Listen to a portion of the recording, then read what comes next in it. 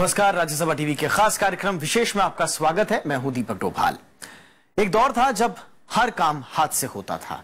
धीरे धीरे हाथों की जगह मशीनों ने ले ली और महीनों का काम मिनटों में होने लगा। औद्योगिकीकरण की इस रफ्तार का दुनिया भर में स्वागत हुआ, लेकिन जल्द ही इंसानों की दुनिया में मशीनों के आने पर सवाल भी उठने लगे। क्या मशीनें इंसानी हाथों का रोज़गार छीन रही हैं? क्या विकास की दौड़ में मशीनें इंसान से आगे निकल गई हैं? बड़ी बड़ी कंपनियों ने इंसानों के हाथों का काम रोबोट और मशीनों को देकर क्या बेरोजगारी का आलम पैदा कर दिया है? ये सवाल तब और गहरे हो जाते हैं जब विश्व बैंक खुद ये कहता है कि हाँ, ऑटोमेशन यानी मशीनें इंसानी रोज़गार को छीन रही हैं। विश्व बैंक की ताज़ा रिपोर्ट के मुताबिक ऑटोमेशन भारत में उनहत्तर फ़ीसदी नौकरियों को खतरे में डालने वाला है। आज विशेष में बात होगी इस रिपोर्ट की और बहस होगी ऑटोमेशन बनाम बेरोजगारी की। तो आइए शुरू करते हैं विशेष।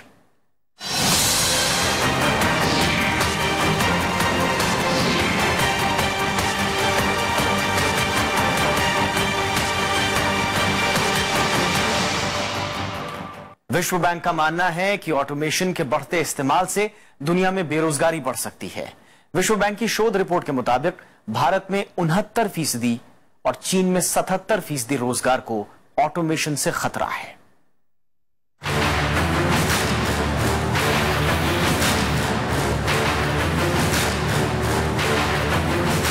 विश्व बैंक और आईएमएफ की सालाना बैठक से पहले विश्व बैंक प्रमुख जिम योंग किम ने 2030 तक अत्यधिक गरीबी खत्म करने की रूपरेखा पेश की। वॉशिंगटन के ब्रुकिंग्स इंस्टीट्यूट में चर्चा के दौरान उन्होंने वैश्विक प्रगति को पटरी से उतारने वाले खतरों और चुनौतियों का उन्होंने कहा कि ऑटोमेशन के बढ़ते इस्तेमाल से दुनिया में बड़े पैमाने पर रोज़गार जा सकता है So if technology does lead to fundamental transformations in the kinds of jobs available in, in, in, in, developing countries, we have to increase our focus on the second major pillar in pursuit of the twin goals, and that is investing in people. विश्व bank की शोध report में कहा गया है कि मशीनीकरण और प्रौद्योगिकी से परंपरागत औद्योगिक उत्पादन बाधित हुआ है और हाथ से किए जाने वाले कई काम खत्म हो गए हैं इस प्रवृत्ति से अमेरिका समेत हर देश के लोग प्रभावित हुए हैं रिपोर्ट में कहा गया है कि मशीनीकरण विकासशील देशों में प्रौद्योगिकी परंपरागत आर्थिक मॉडल को बुनियादी रूप से बाधित कर सकती है Now, as we continue to encourage more investment in infrastructure to promote growth, we also have to think about uh, the kinds of infrastructure that countries will need in the economy of the future. Now, we all know that technology has and will continue to fundamentally reshape the world. Report के मुताबिक दुनिया उस मुहाने पर पहुँच चुकी है जहाँ चीन समेत अनेक देशों में इंसानी कामगारों को हटाकर कंप्यूटर और रोबोट के ज़रिए अनेक काम किए जा रहे हैं अफ्रीका के बड़े हिस्से में बुनियादी तौर पर किए जाने वाले कामों पर प्रौद्योगिकी का बुरा असर पड़ा है आने वाले वक्त में मशीनों का बढ़ता चलन इंसानी कामगारों के लिए खतरा साबित हो सकता है If we if we're going to make the the transition to much uh, larger and more effective investments in human beings, uh, we're not going to be able to convince them if we don't bring that capital to the table. And uh, without reaching appropriate scale, we're very worried that developed countries will not be able to build the kind of workforce that will allow them to compete. Report की माने तो मजदूरी की दर बढ़ जाने की वजह से ज़्यादातर कंपनियाँ रोबोट और मशीनों को प्राथमिकता दे रही हैं। इससे काम में तेज़ी तो आई है, लेकिन रोज़गार पर खतरा भी बढ़ा है। विकासशील देश आगे बढ़ने को लेकर काफ़ी ज़्यादा उत्साहित हैं और मशीनों का इस्तेमाल वहाँ बढ़ रहा है। इसी के चलते आने वाले कुछ वर्षों में लाखों लोगों के बेरोजगार होने की आशंका है। Bureau report, Rajya Sabha TV. और दुनिया भर में बेरोजगारी पहले से एक बड़ी समस्या है। तकनीक का इस्तेमाल इस परेशानी में और इजाफा कर रहा है। डर है कि 2020 तक रोबोट लोगों से दुनिया भर में कम से कम 50 लाख नौकरियाँ न छीन लें।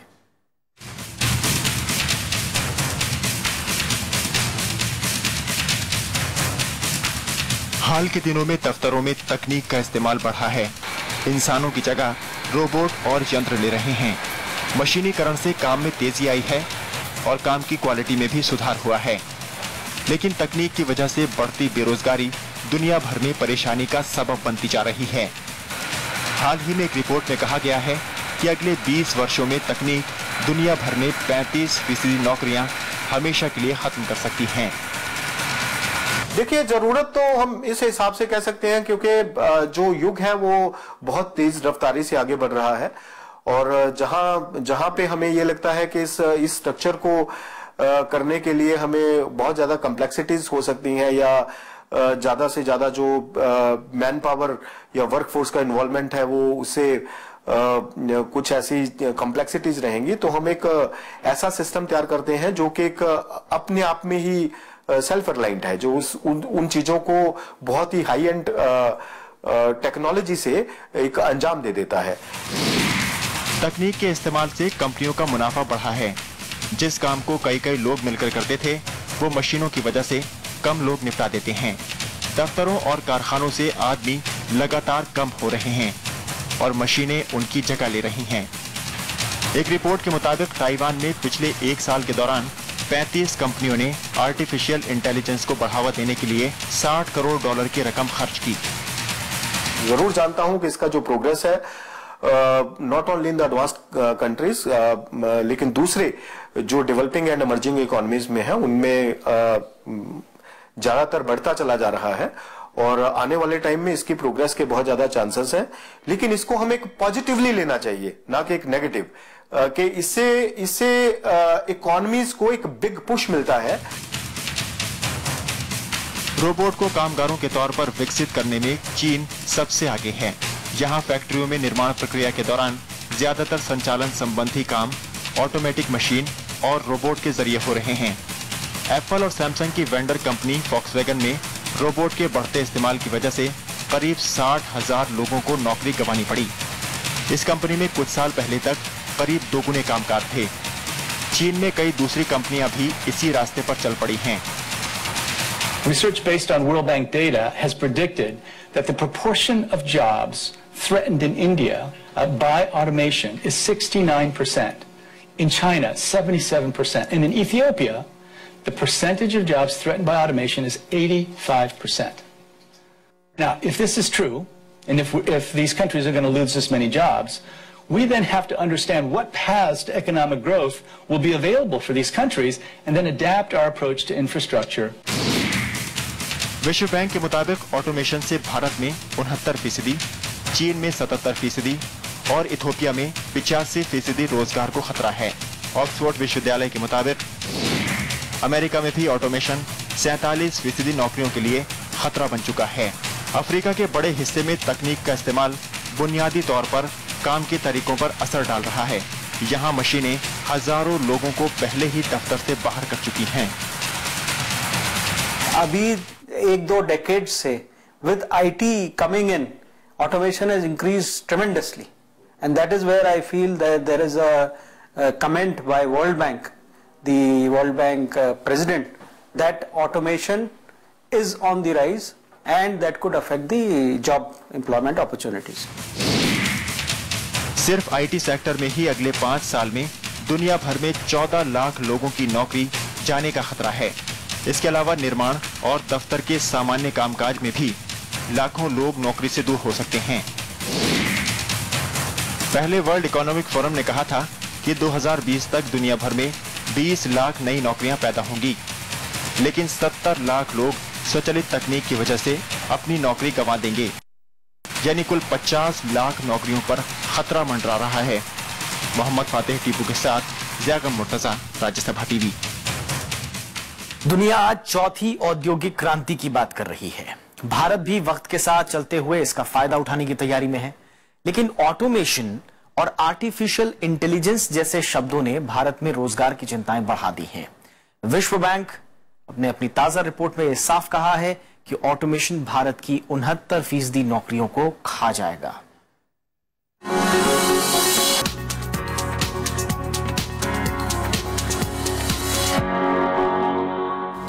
घर बैठे बैठे ई टिकटिंग हो ऑटोमेटिक टिकट वेंडिंग मशीनें हो या ऑनलाइन कामकाज। बीते कई सालों से ऑटोमेशन ने आम इंसान की ज़िंदगी में सहूलियतें भर दी हैं।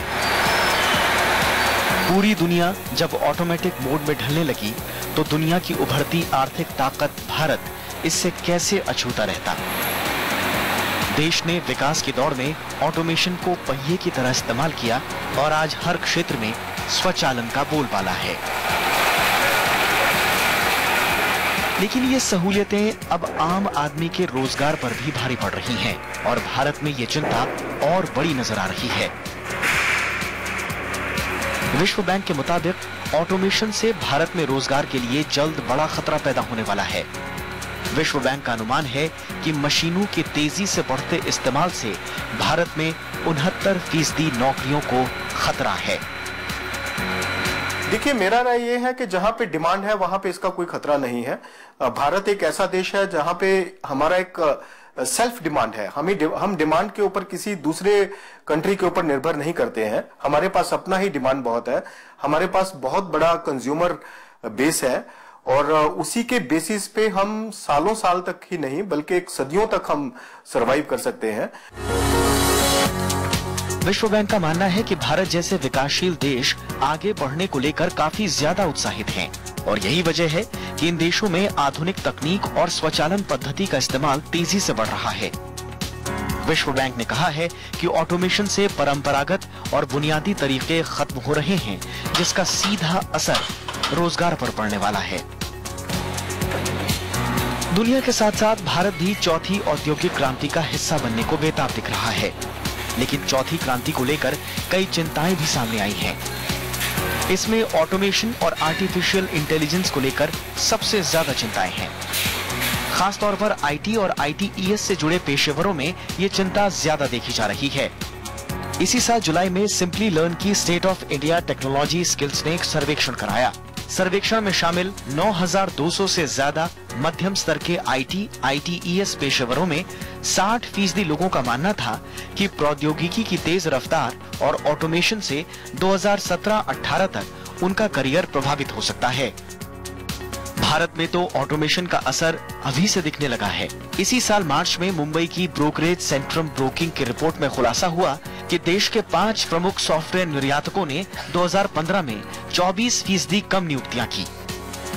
मानव संसाधन के लिहाज से इन कंपनियों ने 2015 में सतहत्तर हज़ार दो सौ पैंसठ नियुक्तियों की कटौती की। ये survey TCS, Infosys, Wipro, HCL और कॉग्निजेंट की 2015 में हुई नियुक्तियों के आधार पर किया गया।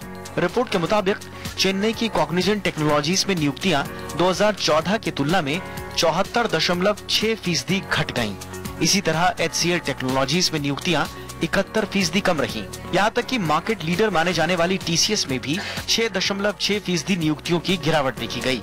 रिपोर्ट के मुताबिक, नियुक्तियों में ये कटौती ऐसे वक्त में हुई जब इन कंपनियों की आमदनी करीब 10 फ़ीसदी बढ़ी। यानी ये कंपनियाँ किसी तरह के घाटे में नहीं थी और सिर्फ़ अपने ऑटोमेशन अभियान के चलते इन्हें कम मानव संसाधन की ज़रूरत पड़ी हालाँकि जानकारों का यह भी मानना है कि ऑटोमेशन का असर कुछ ही सेक्टरों पर पड़ेगा, जिसमें आईटी प्रमुख है भारत में फ़िलहाल दो बड़े उद्योग, यानी जूता और कपड़ा, ऐसे सेक्टर हैं, जो मानवीय क्षमता पर ही आश्रित हैं। देखा गया है कि रोबोट भारी भरकम मशीनों वाले काम तो आसानी से कर लेते हैं, लेकिन कपड़े या चमड़े जैसी मुलायम चीज़ों पर वो खड़े नहीं उतरते। यही वजह है कि बड़े बड़े उद्योगों में कपड़े और चमड़े को सीने का काम आज भी कामगार ही करते हैं। तो अप्रोप्रिएट टेक्नोलॉजी की अगर हम बात करें तो ना ना ही किसान लोग इतना ऑटोमेशन कर पाएँगे जितना कि वेस्टर्न वर्ल्ड कर सकता है, क्योंकि हमारे में अप्रोप्रिएट टेक्नोलॉजी लेने का वो नहीं है। दूसरा हमारे पास, अभी भी वी आर पावर हंग्री और हमारे पास उसको मेंटेन करने का इतना साधन नहीं है। जानकार ये भी मानते हैं कि ऑटोमेशन से हाथ मिलाकर भी नौकरियों में इजाफा हो सकता है, लेकिन इसके लिए देश के शिक्षा के स्तर में सुधार लाना होगा। अक्सर नौकरियाँ देने वाली कंपनियों की शिकायत रहती है कि भारत में कामगारों का कौशल और प्रतिभा का स्तर उनकी ज़रूरत के हिसाब से नहीं होता। लिहाजा वो नौकरियाँ आउटसोर्स कर लेती हैं या मशीनों पर निर्भरता ज़्यादा बढ़ जाती है। हाल ही के नेशनल सैंपल सर्वे के मुताबिक वोकेशनल ट्रेनिंग पाए लोगों में से 18 फ़ीसदी के पास ही नियमित रोज़गार है। उनमें से भी 60 फ़ीसदी अनौपचारिक क्षेत्र में रोज़गार पाए हुए हैं।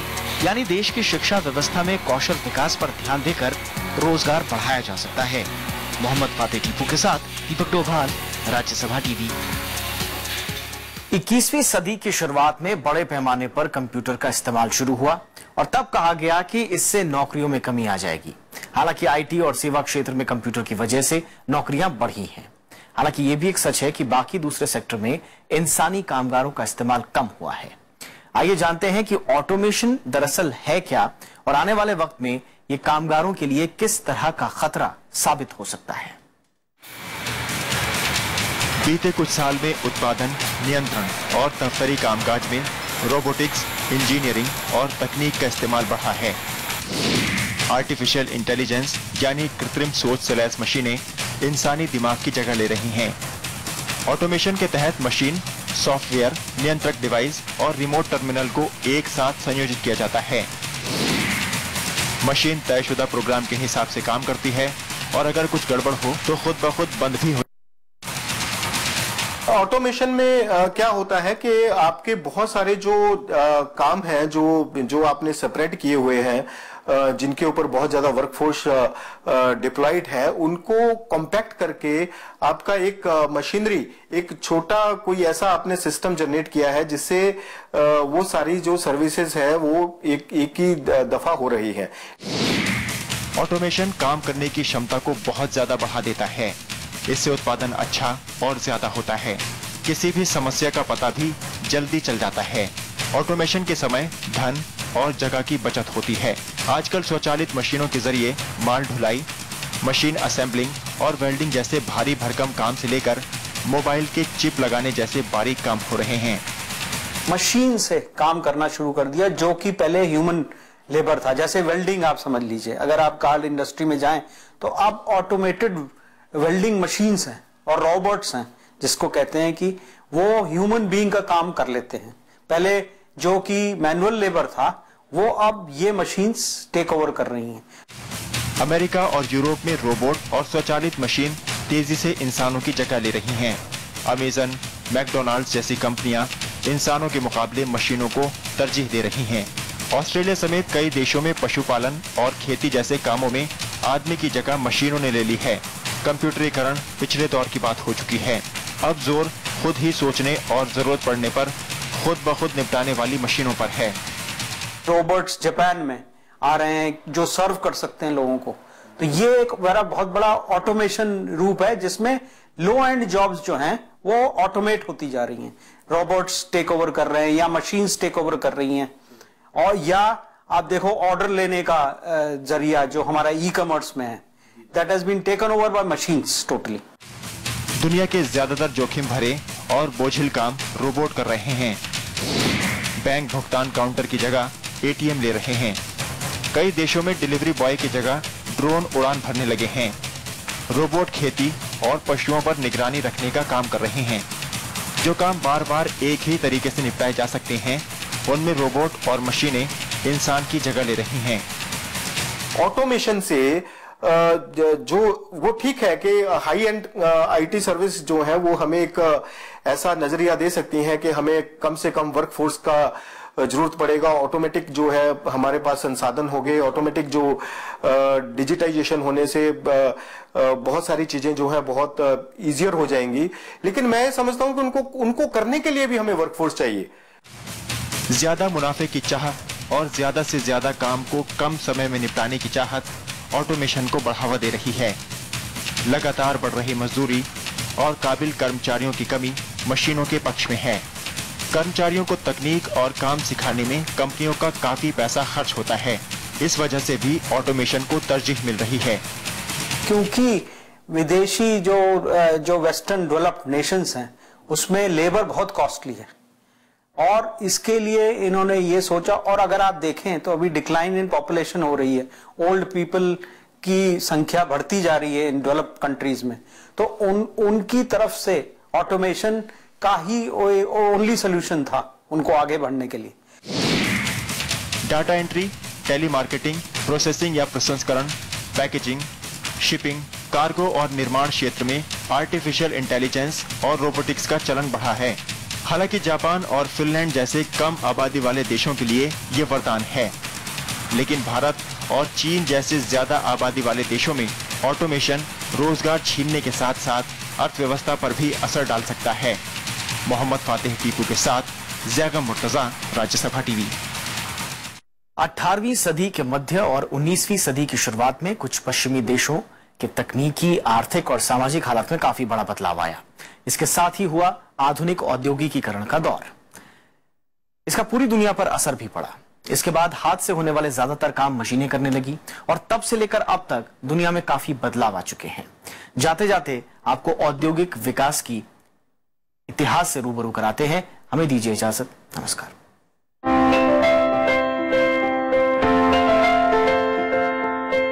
अठारहवीं सदी का ये वो दौर था जब लोग हाथ के हुनर और कारीगरी से ही काम करते थे।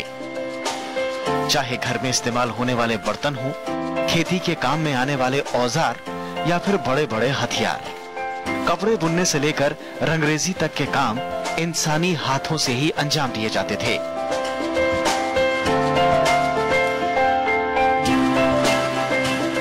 वक्त बदला और दुनिया में औद्योगिकीकरण का आगाज़ हुआ। दुनिया भर में औद्योगिक क्रांति का परचम लहराने लगा। ब्रिटेन को औद्योगिक क्रांति का जनक माना जाता है। तकनीक और आर्थिक रूप में आए परिवर्तन को औद्योगिक क्रांति कहा गया। इस क्रांति के दौरान सबसे पहला प्रयोग कपड़ा बनाने में किया गया। हाथों से बनने वाला कपड़ा अब मशीनों से बनने लगा। लोहे और धातु के औजारों का निर्माण भी मशीनों की मदद से किया जाने लगा। जेम्स वॉट के भाप के इंजन ने क्रांति की एक नई इबारत लिखी। अमेरिका समेत यूरोप के कई देशों में औद्योगिकीकरण की गूंज सुनाई देने लगी तो दूसरे देशों ने भी इसे अपनाने में देर नहीं लगाई। जगह जगह फैक्ट्रियों का निर्माण होने लगा और इसके साथ ही मानव श्रम की मांग ज़ोर पकड़ने लगी। औद्योगिकीकरण से हर चीज़ के उत्पादन में वृद्धि दर्ज हुई। लोगों के आर्थिक विकास में भी बढ़ोतरी हुई।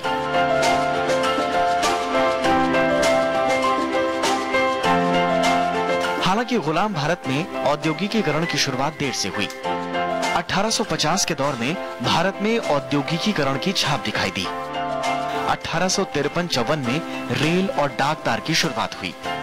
सूती कपड़े की मिलें और कोयले की खदानों में खुदाई इसी दौर में शुरू हुई। देश में 1907 में पहला इस्पात कारखाना जमशेदपुर में खोला गया। कागज़ और चमड़ा बनाने वाले कारखानों की स्थापना हुई तो भारतीय मजदूरों को रोज़गार मुहैया होने लगा। 1932 के आसपास चीनी मिलें अस्तित्व में आई तो वहीं जूट मिलें भी स्थापित की गईं। मशीनों ने भारत की तस्वीर बदलनी शुरू कर दी। सिलसिला आगे बढ़ा और 1947 में भारत आज़ाद हो गया। आज़ादी के साथ ही उद्योगों को बढ़ावा देने पर सरकार का ज़ोर रहा। इसके विकास के लिए भारी पैसा खर्च करने का लक्ष्य रखा गया। देश विकास के रास्ते पर तेज़ी से आगे निकलने लगा। 1951 में औद्योगिक लाइसेंसिंग की व्यवस्था की गई। 1956 में नई औद्योगिक नीति आई, जिसमें उद्योगों का वर्गीकरण किया गया और औद्योगिकीकरण पर ज़ोर दिया गया। 1970 की नई औद्योगिक नीति में लाइसेंसिंग व्यवस्था को दुरुस्त किया गया। इसके बाद 1977 की औद्योगिक नीति में ग्रामीण उद्योगों को बढ़ावा दिया गया। 1980 की नीति में ऑटोमेशन को बढ़ावा दिया गया। इसके बाद 1990 के दशक में उदारीकरण का दौर भी शुरू हुआ तो दुनिया के तमाम देश वैश्विक गाँव में तब्दील होने लगे। भारत दुनिया के मानचित्र में बड़े बाज़ार और बड़ी अर्थव्यवस्था के तौर पर उभरा। तमाम देश भारत के साथ व्यापार करने की कवायद में जुट गए। औद्योगिक विकास का ये सिलसिला आज भी जारी है। मोहम्मद फातेह टीपू के साथ राज यादव, राज्यसभा टीवी।